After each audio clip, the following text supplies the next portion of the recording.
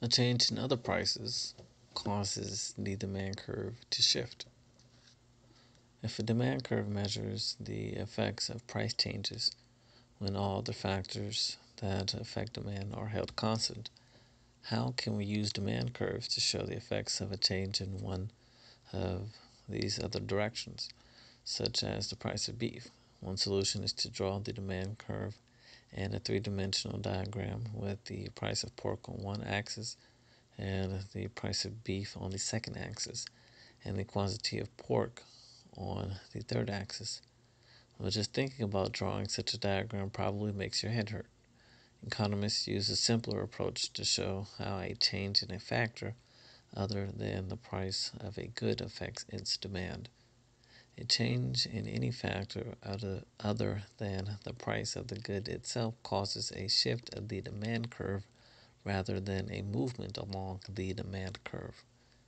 If the price of beef rises while the price of pork remains constant, some people will switch from buying beef to buying pork. Suppose that the price of beef rises by 60 cents from $4 per kilogram to $4.60 per kilogram, but that the price of chicken and income remain at their average levels.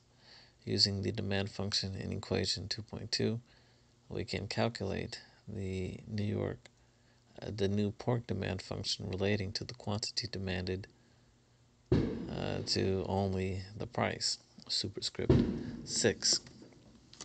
It reads, substituting P sub B equals $4.60 into equation 2.2 and using the same values as before P sub C and capital Y, we find that capital Q equals 171 minus 20P plus 20P sub B plus 3p sub c plus 2 capital Y equals 171 minus 20p plus open parentheses 20 minus 4.60 close parentheses plus 3 times 3 and 1 third close parentheses plus open parentheses 2 times 12.5 close parentheses equals 298 minus 20p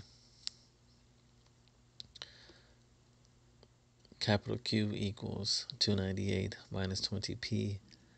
That's equation 2.4.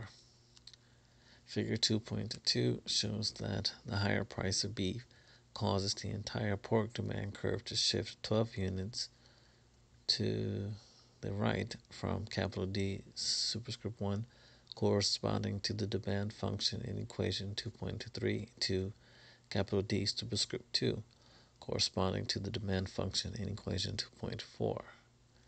In the figure, the quantity axis starts at 176 instead of 0 to emphasize the relevant uh, portion of the demand curve.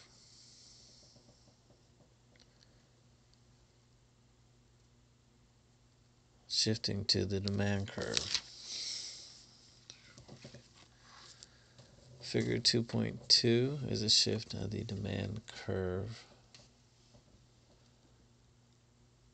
on the vertical axis we have the price and horizontal axis we have the quantity in millions of kilograms of pork per year. We are given the original demand curve, capital D, superscript 1, and then uh, the demand curve shifts by having uh, to capital D superscript 2 at the same price level of $3.30 um, demand curve 1 has 220 million kilograms of pork per year demanded and at that same price with the demand curve 2 232 uh, million kilograms of pork per year. The demand curve for processed pork shifts to the right from capital D superscript 1 to capital D superscript 2 as the price of beef rises from $4 to $4.60 as a result of the increase in beef prices. More pork is demanded at any given price. Why does demand why does the demand function shift by 12 units? Using the demand function equation 2.2, we find that the partial derivative of the quantity of pork demanded with respect to the price of beef is italics d capital Q over italics d p sub b, which equals 20.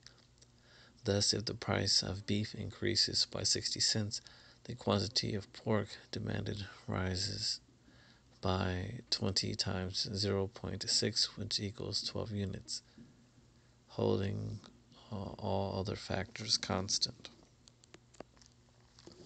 To properly analyze the effects of a change in some variable on the quantity demanded, we must distinguish between a movement along a movement along a demand curve and a shift of a demand curve. A change in the price of a good causes a movement along the demand curve.